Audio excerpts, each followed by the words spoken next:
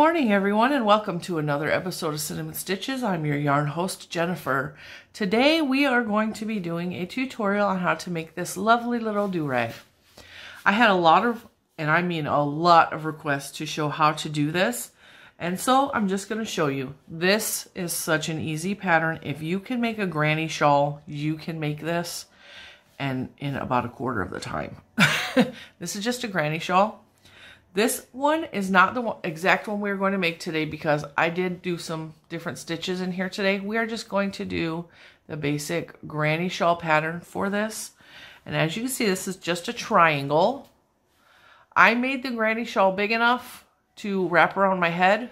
And when it fit around my head, I attached it and then I did a row of single crochet around the border to make sure that this was secure. And that's all there is to this. So to get started, you just need your favorite hook and your favorite cotton yarn. I suggest cotton. You could, of course, use other blends, but cotton is more breathable and we're not making a hat, so we don't need it to be warm. We just need it to be in our hair. So I have my Premier Home Cotton. This is just their basic home cotton. It's in the color Flamingo. Flamenco Spray. Actually, different language. Flamingo Splash or Flamenco Spray. Depends on what language you're speaking. All right, so it's pink. That's what we're doing today. And I, now I have a tangle, of course. I mean, why wouldn't I have a tangle? And I can't find my end. Where is my end? And I apologize if you guys hear background noises during this. I try to get the house as silent as possible, but my five-year-old is being difficult today, so he is trying his best to test my patience. so we're just going to start with a slip knot and then we are going to chain three. One, two, and three. And in that very first, right next to the knot, that very first chain, we are going to put two double crochets. And this is going to be our first granny block. Because granny stitches is basically three double crochets together and then we're going to chain two. And in that very same chain, we are going to put three double crochets. One, two, and three. And then this is what it would look like. Let me move the camera in a little bit so you can see. That's what it looks like. So it's a granny block. You got a granny block, chain two, granny block. Okay. All right, so we are going to, from this point, chain three. One, two, and three. Let's see if moving the camera in closer helps you guys at all. And hopefully I can stay on frame because that's what I struggle with. Because apparently I move my hands a lot. All right, so in this, in the top of that chain, it's not a chain, in the top of that double crochet where we just chained three out of, we are going to put two more double crochets.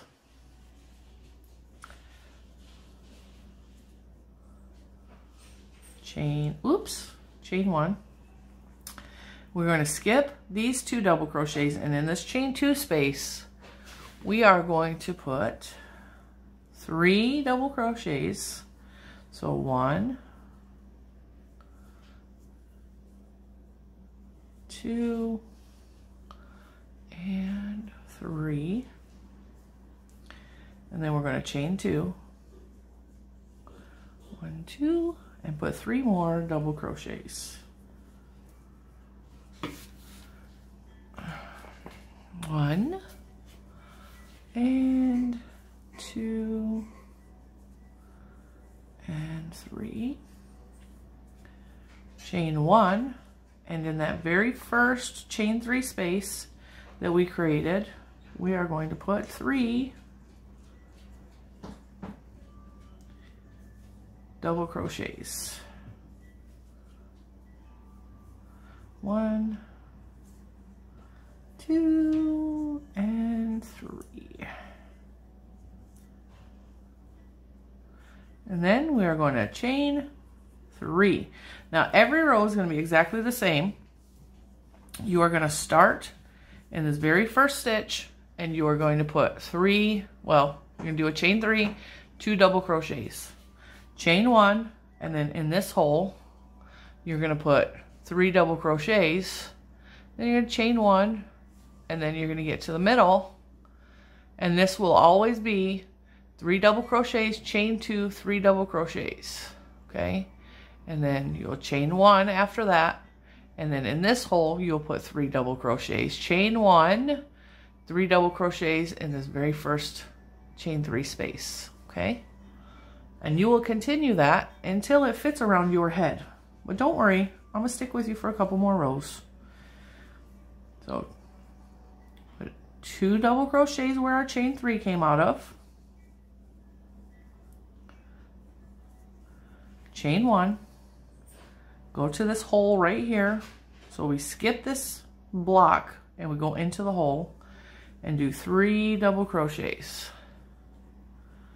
One and two and three and chain one. See, then we skip this block, but now we're in the center where that chain two space is, and we are going to put, you got it, three double crochet, chain two, three double crochet. So that's two and three. And then we're going to chain two, one, two, three more double crochet,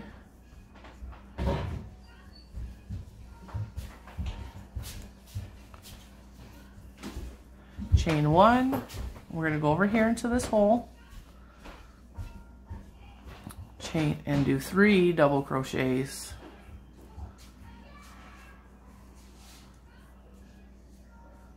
Chain one. And then we're back to that very first chain three space. And in the top of that chain three space, we are going to put three double crochet. Oh, see, I put it in the wrong spot. Put it in the wrong spot. I missed my hole.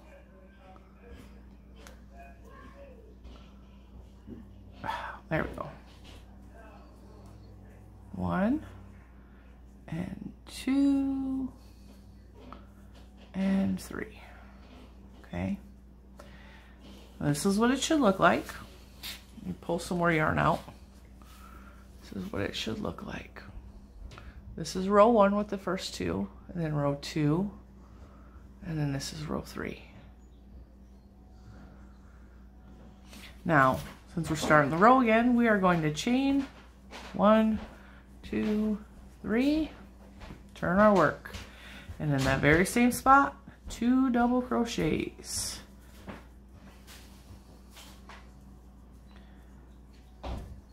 Chain one, go into the hole, three double crochets.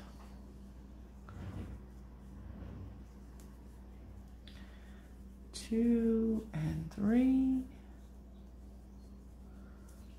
Chain one, skip this block, go into the hole, three double crochets. Three doubles, three doubles, three double crochet. Chain one. Now we're back to that peak again. See where we have the two blocks and the chain two? And what does that mean? That means we need to make two blocks and a chain two. So, in that hole at the top, oh, I keep missing my yarn. Missed it again. oh, only I could do this poorly in a tutorial. All right, chain three, not chain three, three double crochet, three double crochet. So that was two, three, one, two, and three more double crochets in that same spot. One, two, three. Chain one. Then we're gonna go to this hole. And I noticed I'm like way off center. So three more double crochets in the hole. Chain one, skip the block, go into the hole. You guys got this by now, I know you do. One, two, three. I'm going to do one more row and then we're going to fast forward to where it's big enough to fit my head. So top of the chain three, put three more double crochets. This is how you build a basic granny triangle. You make it as big as you want. You make it as small as you want. One, two, three, chain three. So that's how you build your basic granny triangle. You always increase here by putting a granny block in that very first chain three space. And then you continue to put a granny block in each chain space, the, the, the hole. Then when you get to the tip here, the point, always increase by doing a granny block. So three double crochet, a chain two, and three double crochet. Chain one, go back down this side the same way as you started. Make sure you increase on this side with your granny block in the very first stitch. Chain three and turn every single row until it's as big as you want it. So this will be the last row I'll show you and then we'll fast forward. So we put three double crochet in that very first space, chain one, go into the next hole, do three more double crochet. I really like this color. I haven't worked with this color cotton before. I really like it. It's like appealing to my eye right now. Chain one, go to the next hole, do another granny block. That's what we're calling them. It's a granny block. It's the unofficial name, but that's what we're calling it. Chain one, go into that next hole, put another granny block, put a granny block in the granny space. Three double crochet, chain one, and then we're back to the point.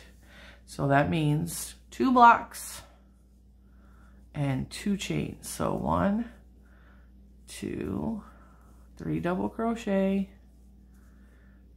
chain two, three double crochet,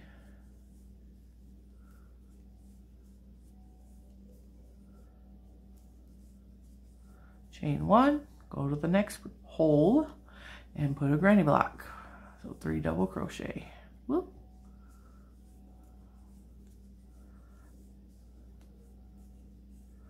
Now, I fully expect you guys, if you're going to make these, that was a chain one, we're going to the next hole. If you're going to make these, I want to see them. I want you to tag me on Instagram, post them in my Facebook group. I want you to tag me wherever you can. I want you to make your do-rags and wear them and show them off. It's going to be the Cinnamon Stitches do-rag. I know, it seems like all my tutorials or all my patterns have my name in it. and I don't even pick the names. It's you guys that I've been letting pick the names for these. All right, now we're back to that chain three space from the beginning. Jam our hook in the hole. One, two, and three. Another thing I like about this yarn is it's like a gradient. So it starts off like really dark and then it gets lighter and then gradually it will be like this lighter light. Isn't that cool? I just like that. All right. I'm going to continue making my do-rag until it fits my head and I will check back in with you and show you how to join it. Just keep crocheting until these two points can meet and be kind of snug on your head. Not tight, but snug because there's a little bit of give and it will stretch out and you don't want it to be too big. So you want it to be, you know, form fitting on your head. So keep going. I think this one had a little bit too many rows. So let's see how many rows I did for this one. One, two, three, four, five, six, seven, eight, nine, 10, 11, 12, 13 rows. So 10 rows might work for some of you because I have a really big head. And uh, check it at 10 rows and see if it fits your head. Okay? I will meet you guys probably on 12 or 13 because like I said, I have a really big head. All right, guys. Okay, we're back. So I ended up making more than 12 rows because I didn't take into account that that yarn was thicker and I was probably using a bigger hook. But I wanted to show you guys how to count your rows with this. There's two ways you can count it. You can count it down the center or you can count it up the side. Okay, so all you got to do is count your squares. Well, this side, not this side. That'd be silly. Okay, so we're going to count it down the middle first. Every time you have a hole here, that's a row. So one, two, three, four, five, six, seven, eight, nine, 10, 11, 12, 13. I'm at row 14. And the way you count it here is you just count the blocks. 1, 2, 3, 4, 5, 6, 7, 8, 9, 10, 11, 12, 13, 14. How did I get 15? Okay, so there's 14 or 15 rows. I measured it. It touches exactly. And that is the size of my head. So what we're going to do is we are at the end of 14 rows for me, but it will probably differ for you because you guys don't all have big heads like I do. Okay, so what we're going to do here is we're going to chain one. Okay, these are our two corners. So this would be the part that goes over your arms if it was the shawl. Okay, this is the bottom peak. We're going to bring these together and we're going to find the top of this chain three space here and just in anywhere, it doesn't really matter. We're going to slip stitch. We're going to chain one. So we chained one and we're going to look along this edge. Each one of these blocks is a double crochet. So what we are going to do in each of these blocks in that double crochet, we are going to put two single crochets. A single crochet there and a single crochet there. Go to the next block and we'll put two single crochets.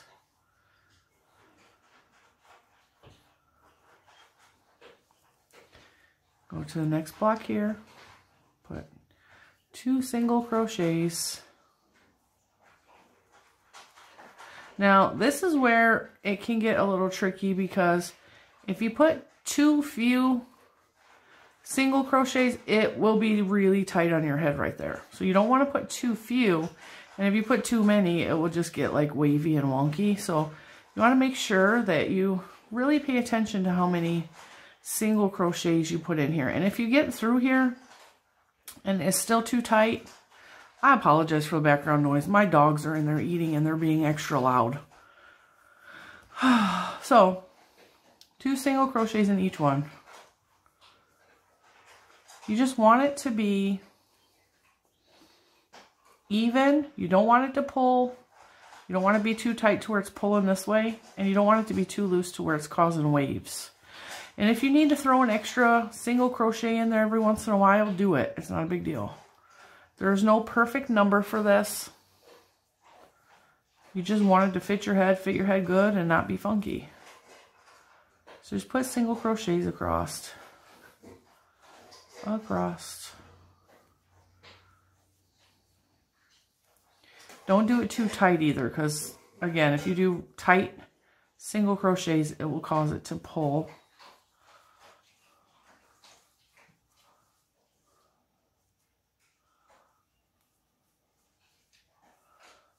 This is all we're going to do all the way around is just single crochets all the way around.